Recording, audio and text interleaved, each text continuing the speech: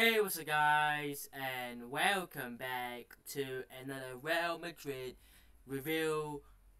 Barcelona 3, Real Madrid now. This just sums up all the problems that we had last season, and maybe we thought that it might have changed for the better after witnessing what happened against Milan and Man United. We thought maybe there could be a bit of a change, you know. We're seeing these new faces fitting in, you know. Bellingham has been exciting to watch. Joselu has been good to see.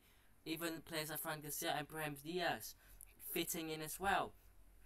And that would have led us to believe that, okay, you know what, maybe it's a change for the better. And then we go into El Clasico and I didn't expect Real Madrid to win. In fact, nowhere near. I thought that Real Madrid were at most going to get a draw. Um, I'm pretty sure I predicted, if I'm not wrong, either a 1 or a 2 um, But if you guys haven't already, go and check out that preview that I did. Um, but I did not believe that Real Madrid were going to lose badly. And again, yes, it was a 3 0 game, and yes, some people would say, but it wasn't very, very dominating from Barcelona. It's still a 3 0. Like, you have to remember, right? Even though, yes, we only, I mean, some would say 3 0 is a big scoreline, but 3 0 is a big scoreline, right? But if I'm being honest, we played alright. It wasn't like we played very, very bad. And the three goals we considered, yes, they were good goals by Barcelona. Like they took their chances and they scored, but they were preventable. Like they, they were preventable goals that we just let them score, and it's you know come back to bite us, right? Now, look, it's pretty pretty disappointing to lose 3 0 um, after, like I said, what we have seen from the previous two games that were convincing and were actually signs of something good to come. But this just highlights that one key problem that Real Madrid still have, and it hasn't been resolved for the last month and a half, two months. The striker problem. Benzema has been gone for nearly two months now, right?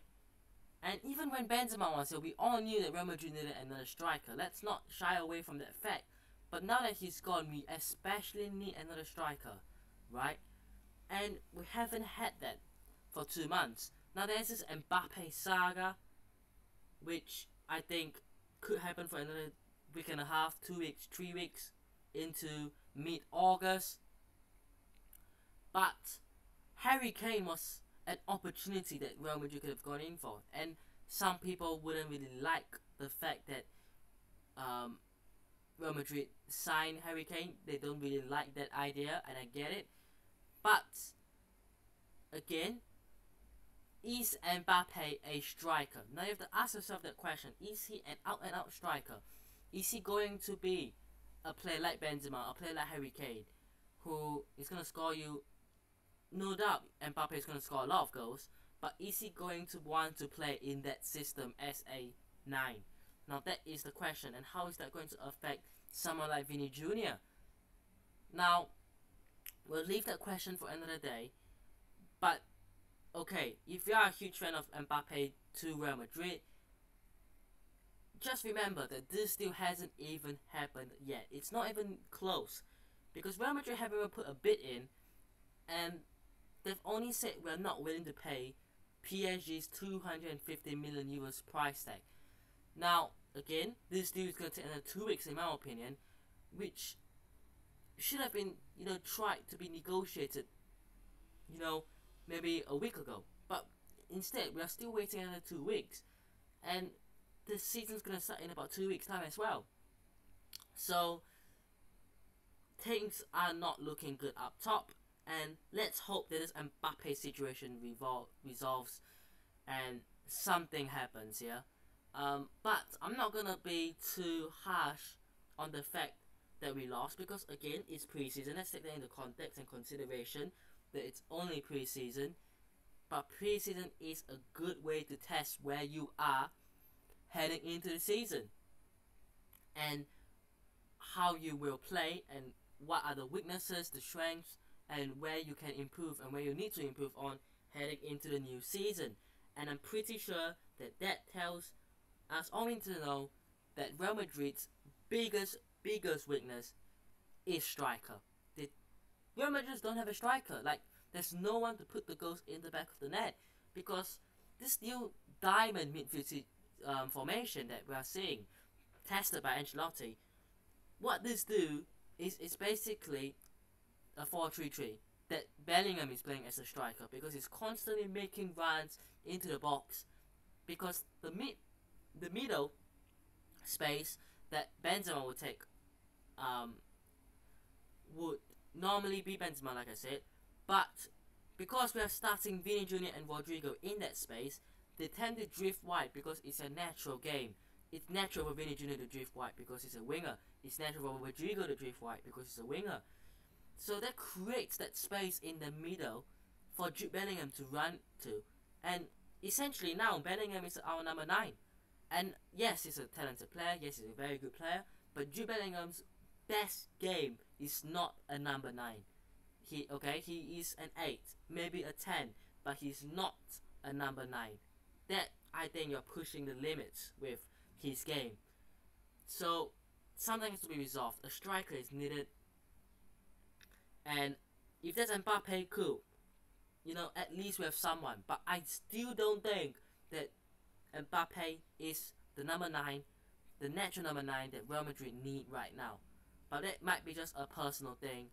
But that's kind of the observation that I think every Real Madrid fan can see based on the last few games. Even against AC Milan and Man United. The striker concern is still there. Okay? Yes, we can still find goals from Vini Jr., from Rodrygo, from Joselu, from Bellingham, but we still need to get a number 9 in that can, you know, guarantee 30 goals a season, like Benzema did. Um, but Barcelona looked really, really sharp. I mean, they have made some good signings. You know, Gundogan coming in um, on a free has been a good addition to the midfield. Um, yeah, they played well, and I think that they are going to be the big, big, big rivals for Real Madrid this season. I think it's going to be Real or it's going to be Barca. Maybe you can add Atletico Madrid in the mix as well. But Barcelona seems to be what everyone is trying to achieve. You know, I think Barcelona are setting the bars for everybody. Not Real Madrid. I don't think Real Madrid will be setting the bars. I think Barcelona are setting the bars. And again, like I said, it's only pre-season, but you look at how they play, they've got a proper nine. You know, Lewandowski is a proper number nine. He's got, you know, good support on his wings. You know, Dembele scored, but it seems that he's going to move to PSG now. But they still have Rafinha, they still have Ferran Torres, Ansu Fati. So they've got good covers on the wings. Um, I think their midfield with Pedri, um, even Gavi can play on the wings. Gundogan coming in. Um, Frenkie de Jong, let's not forget as well in that midfield. They are good there. I think the defense they are looking stronger than ever. Um, as well. So Barcelona will be the target that everyone in the league is going to achieve. Again, not everyone is going to be able to achieve that. But I think if you're looking at, you know, teams like Villarreal, Real Sociedad who might have a chance, they'll be looking at Barcelona going, we want to reach that level. Right, Barcelona are the target, are the bars for everyone to reach. And I think that at the moment, if Real Madrid don't get a striker, Barcelona are the favourites to win the Liga. I think that Barcelona, even though they don't have quality in different areas, like Vini Jr., Bellingham, they don't have individual quality everywhere. Like, I know it might sound biased, but it's not trying to say that Barcelona don't have quality players. Like, of course, you've got Pedri, Gavi, Frenkie de Jong, that's a quality midfield. But look at the attack, like Rafinha isn't like a massive, massive wow. Like no one's gonna look at Rafinha and go, oh my days, this is like the next Messi. Like, um, and maybe Ferran Torres as well. He isn't to be looked as like, oh my god, the next Neymar, right? At the back, yeah, Araujo is a great player. Koundé is a good player. Christensen's a decent player, but no one's gonna look at him going, oh, he's next Carlos Puyol, right? And I'm not trying to diss their players, right? But I'm just saying, like, if you compare the quality as individuals, I think Real Madrid have more quality individuals compared to Barcelona. But I think as a team, I would edge it to Barcelona here. I think as a team, you look at how they play as a team, Barcelona are better as a team. Which is a really, really worrying thing to see. So, let's see what happens. The key takeaway is Real Madrid need a striker, and Barcelona have a lot of quality as a team. Now, the first goal was really, really well taken. Free kick, Gundogan lays it off um, to, if I'm not wrong, Pedri, who then um, just lays it up to Dembele on his weaker right foot, slams it past Courtois. Second goal was scored by the youngster, I forgot his name really. Um, great left footed finish, however. And then the third goal, Ferran Torres, um, empty net really. Um, and yeah, just a simple tap in to an empty net for him. So three good goals by Barcelona. Um, but again, let's not take too much away. Um, as a Real Madrid fan, it doesn't mean that Real Madrid won't be competing. Um, I think Real Madrid um, will definitely be up there and competing, but Barcelona are still the target that you want to get to.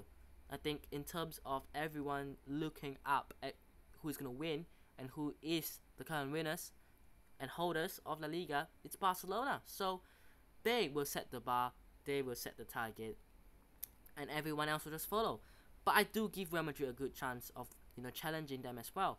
But again, it's only preseason. Preseason, of course, you can take a lot away from it, but let's not take everything away from preseason as well, because realistically, it doesn't mean that losing to Barcelona 3 0 in preseason means you won't win La Liga. It doesn't mean that. But Real Madrid need a striker that's clear as days, and let's see what happens with this Mbappe saga. Let's just hope that if Real Madrid were to get Mbappe, at least get it done in the next week, week and a half at most, because it's been dragging on for again close to two months now. Since Benzema has left, it's always been Kane or Mbappe really. So let's hope that this is gonna get done quickly. But let me know where your thoughts are down below. I hope you guys have enjoyed today's video. Hit the like button you did. Subscribe to the channel on already, and I'll see you guys in the next one. Peace.